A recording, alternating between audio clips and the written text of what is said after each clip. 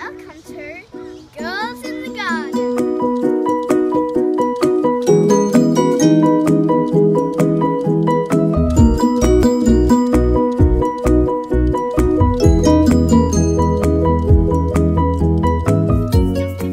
Welcome to Girls in the Garden. I'm Daniela Sophia, and today we're going to be doing a quick project of how to make a quill pen. Quill date back to the 6th century. That's a long, long time ago. That's when people used to live in castles. Quill pens were originally made with swan or goose feathers, but today we're going to be using a magpie feather. Now, when they were originally made, they would have a little slit in the end and then dip them in ink and write with. But today we're going to be making a modern day version that you can use for your schoolwork. For this project, you'll need one large feather, a ballpoint pen that is half empty, and a pair of side cutters. Now we will take our pen and carefully unscrew the lid and take the tube out with the ink in it and make sure it is half empty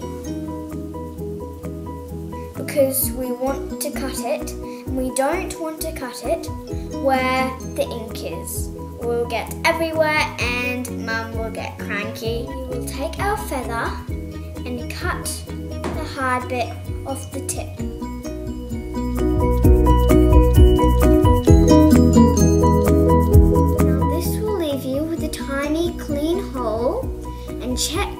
That your tube will fit inside the feather neatly. Now take your pen tube and your side cutters and cut where the ink ends. And remember, don't cut where the ink is or it'll get everywhere.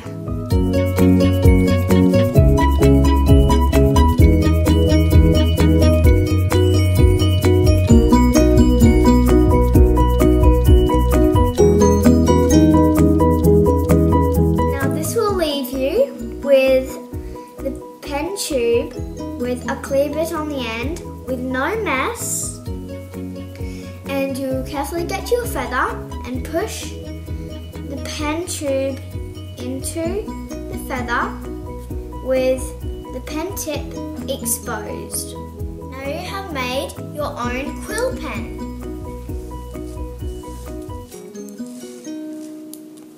Now, if you have any questions about today's project, please email me at the address below. Thank you for watching Girls in the Garden!